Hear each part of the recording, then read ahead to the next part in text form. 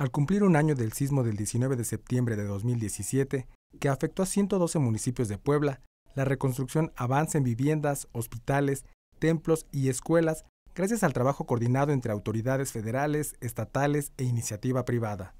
En entrevista con Otimex, el comisionado estatal para la reconstrucción, Eugenio Mora Salgado, mencionó las acciones realizadas para la reconstrucción de las 1.614 escuelas afectadas por el sismo. Hubo un apoyo eh, complementario de, este, forma educativa, donde se detenieron alrededor de 658 planteles.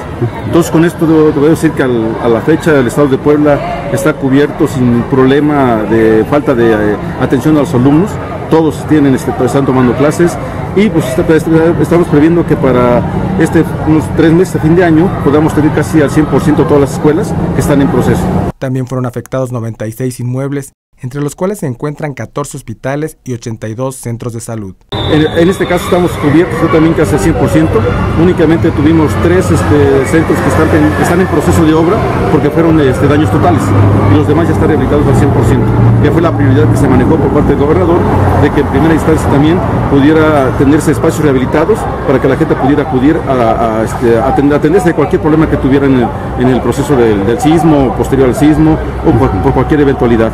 Respecto al tema de vivienda, se registraron 32.565 hogares con daños. Los beneficiarios recibieron una tarjeta con los 90 mil pesos federales y 30 mil estatales y ellos, ellos hicieron sus trabajos de remodelación, reconstrucción o lo que procediera.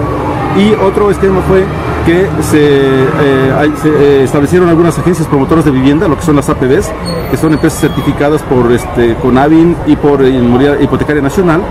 El sismo del 19 de septiembre también ocasionó daños a templos religiosos con 620 inmuebles registrados, donde el Instituto Nacional de Antropología e Historia es el responsable que lleva el control y seguimiento de todas las obras.